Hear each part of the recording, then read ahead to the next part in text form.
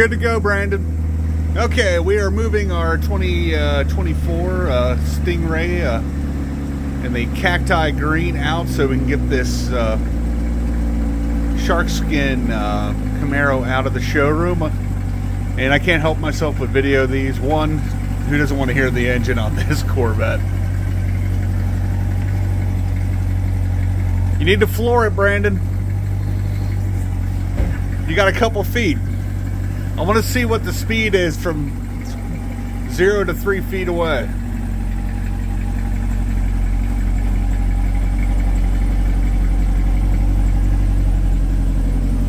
Let's see the uh, infotainment center in there.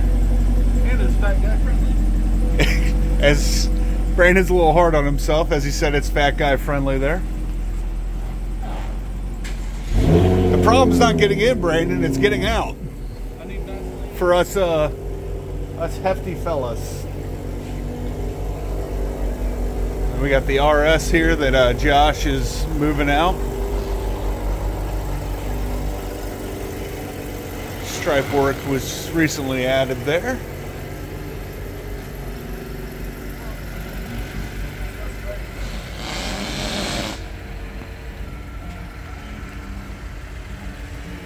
Just park by touch, Josh. What's the worst that could happen? Josh is our used car manager, and he gets to evaluate a lot of vehicles where people do definitely park by touch.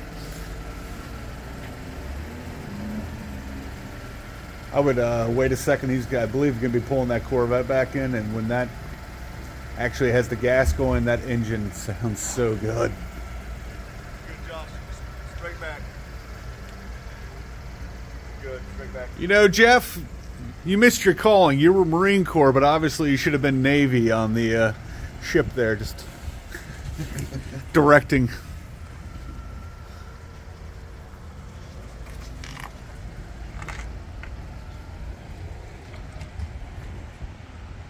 I don't know if Brandon's coming back in or not. I thought he was. We'll find out here in a second. Anyway, so this is the infamous desk that uh, got clipped by the uh, Silverado the one time I wasn't filming this happening.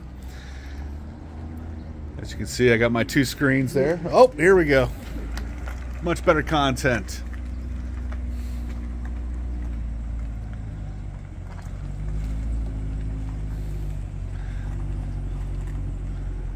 We've got a little smoke on the water plane in the background.